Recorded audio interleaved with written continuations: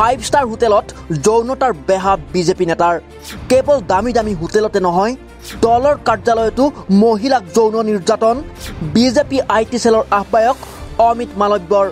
এই বিস্ফোৰক অভিযোগ উত্থাপন কৰিছে স্বয়ং আৰ এছ এছৰ নেতা শান্তনু সিনহাই।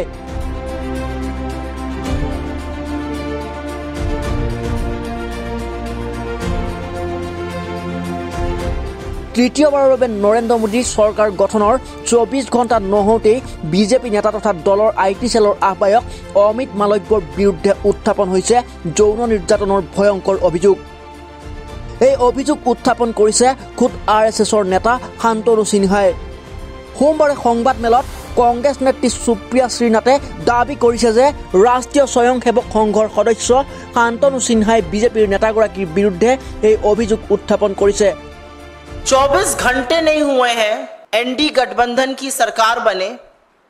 नरेंद्र मोदी को प्रधानमंत्री पद की शपथ लिए और भारतीय जनता पार्टी के लोगों के काले कारनामों ने एक बार फिर सिर शर्म से झुका दिया है। अब जो आरोप सामने आया है, उसमें बीजेपी के नेता और उनकी आईटी सेल, जिसको मैं फेक न्यूज़ की फैक्ट्री कहती हूँ, उसके सरगना अमित मालवीय पर आरएसएस के एक नेता ने यौन शोषण का गंभीर आरोप लगाया है। संघ परिवार के नेता हैं शांतनु सिन्हा, वो बीजेपी के बंगाल के पदाधिकारी राहुल सिन्हा के भाई हैं एबीवीपी के सदस्य रह चुके हैं, हिंदू संघ के प्रमुख हैं।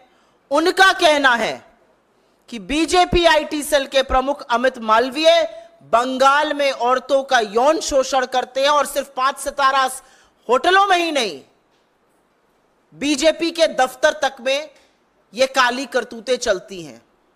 उन्होंने बंगाली में ट्वीट करके, बांग्ला में ट्वीट करके यह भी लिखा है कि बीजेपी नेताओं में होड़ लगी हुई है औरतों की आपूर्ति करने की। उनका कहना है कि ये सब लोग मिलकर और अमित मालवीय का नाम लेकर उन्होंने कहा है, औरतों का यौन शोषण करते हैं। ये आरोप कांग्रेस पार्टी का नहीं है ये आरोप संघ के एक व्यक्ति का है जो बीजेपी से जुड़ा हुआ है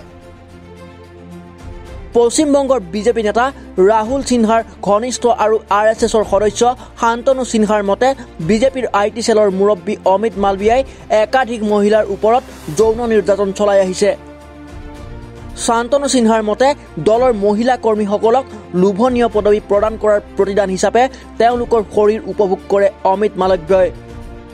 কেৱল নামী দামী হোটেলতেই নহয় ৰাজ্যৰ দলীয় কাৰ্যালয়তো নাৰীৰ ওপৰত এইদৰে যৌন নিৰ্যাতন চলাই আহিছে অমিত মালব্যই। এই অভিযোগৰ পিছত এতিয়া সোচ্চাৰ হৈ পৰিছে কংগ্ৰেছ আৰু তৃণমূলৰ নেতাসকল। তেওঁলোকৰ দাবী শীঘ্ৰেই দলৰ পৰা অপসাৰণ কৰি আইনী ব্যৱস্থা গ্ৰহণ কৰিব লাগে বিজেপিৰ নেতাগৰাকীৰ বিৰুদ্ধে। ইফালে এই অভিযোগ ভুৱা বুলি কংগ্ৰেছ আৰু তৃণমূলৰ নেতাৰ বিৰুদ্ধে দহ কোটি টকাৰ মানহানিৰ জাননী জাৰি কৰিছে অভিযুক্ত অমিত মালব্যই।